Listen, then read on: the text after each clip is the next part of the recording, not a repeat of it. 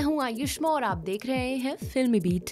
Big boss 11 की winner Shilpa Shinde अब सुनील ग्रोवर के साथ नज़र आने वाली हैं। सुनील ने शिल्पा शिंदे का एक फनी वीडियो अपने ट्विटर अकाउंट पर शेयर किया है। इस वीडियो में शिल्पा ने गिलहरी वाला फ़िल्टर का इस्तेमाल किया है। मीडिया रिपोर्ट्स के मुताबिक सुनील और Shilpa cricket comedy digital show ला रहे हैं। वीडियो में शिल्पा सुनील ग्रोवर के फ़ेमस गाने मेरे हस्बैंड मुझसे प्यार नहीं करते की कॉपी करते नज़र आ रही हैं। इस वीडियो में शिल्पा ने गिलहरी वाला फ़िल्टर का इस्तेमाल किया है।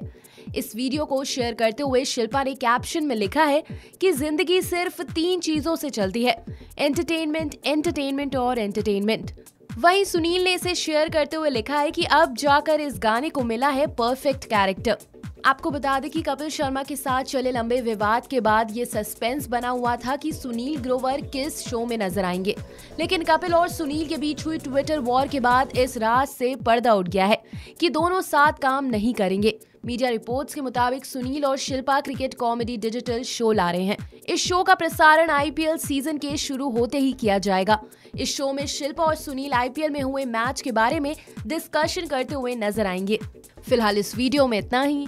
टेलीविज़न और बॉलीवुड की तमाम बड़ी खबरों को जानने के लिए देखते रहिए फिल्मी बीट।